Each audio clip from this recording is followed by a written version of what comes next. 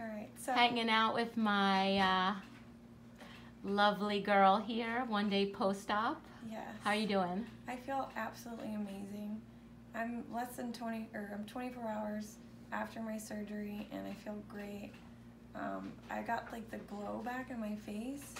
Like I woke up and I was like, I just look better and I feel really good. And considering that I just got out of like a pretty major surgery, you would think I would be feeling terrible, but like I feel amazing and I'm just like so happy and I just feel really good. I just feel like my body is like so happy with me making this decision and going through this and it's I know this is the right path for me and um, I know as things go on like I'm gonna just get better and better and I want to help people on their healing journey.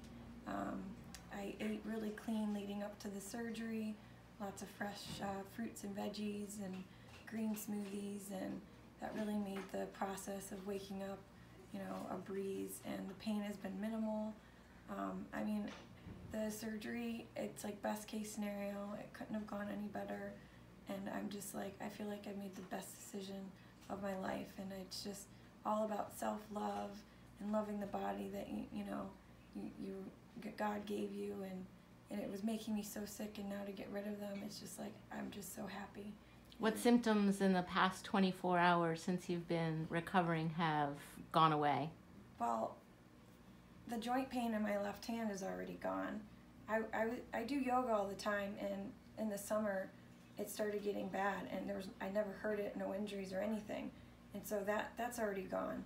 Um, I was I wake up every day with new breakouts on my face, and like every single one of my pores had something in it, and I would have really really bad dark circles under my eyes, and like that's already like the dark circles have already gone away. Like people have seen the pictures of, of me that I posted online. They're like, unbelievable. In, in less than 24 hours, this is what you look like. So, I mean, the heal is real. And like, if you're on the fence, just go for it. If you know deep down that this is what you want to do, like, don't be afraid.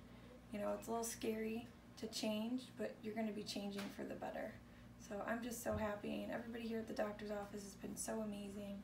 The whole process has been lovely, and I'm just I, I couldn't be happier. I'm just so happy. So Well, keep healing, my friend. thank you. You definitely win the cutest PJ award. Yeah, I was super excited to have my little outfit I love for my, it. my doctor's office visit. so keeping it stylish with There my you little go. zip up hoodie. I love it. yeah. Thanks. Thank you guys.